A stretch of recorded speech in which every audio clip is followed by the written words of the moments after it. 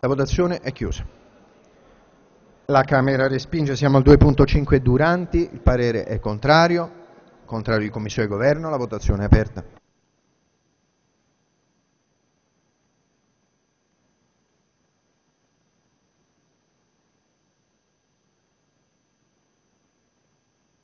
Di Gioia.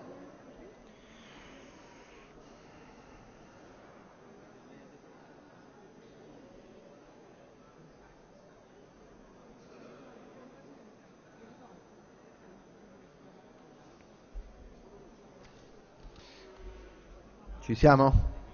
Dichiaro chiusa la votazione. E la Camera respinge. Siamo al 2.7 all'Asia, c'è l'invito al ritiro, onorevole Allasia.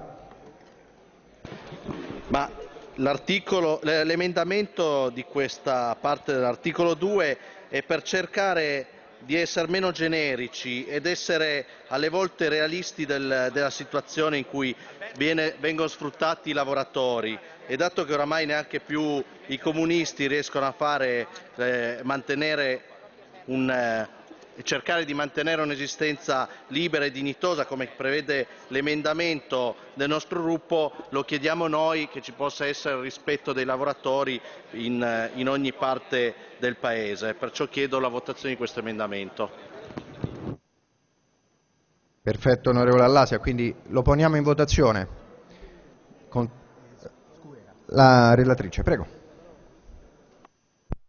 Semplicemente per chiarire che qui eh, si trattava di diritti del, del lavoro e quindi eh, il, mm, il tema affrontato il alla lettera numero 4 è questo e infatti poi accogliamo un emendamento successivo dell'onorevole Allasi. La ringrazio, onorevole Ricciatti.